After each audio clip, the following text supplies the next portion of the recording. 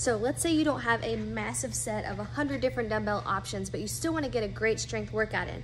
Here's how to achieve progressive overload with a limited amount of weights. First way you can do this is control your tempo. So for instance, on a shoulder press, I can go all the way up and all the way back down at a moderate pace, or I can explode out of the bottom and control the eccentric portion of the lift to make sure I get more power generated on the way up and more control on the way down. Your second option would be to add a pause or a half rep in your shoulder press. So for instance, we take it all the way up, down pause, and push back up, or add a half pulse in between each full range of motion rep. Last tip is gonna be to make sure your transition times are efficient. So in between when you're pressing, lowering, and right here, when you're going up, a lot of people tend to just pause here and breathe, okay? Let's try and make sure you're still moving. You get down and start pressing back up when you're almost to the bottom to get more time under tension.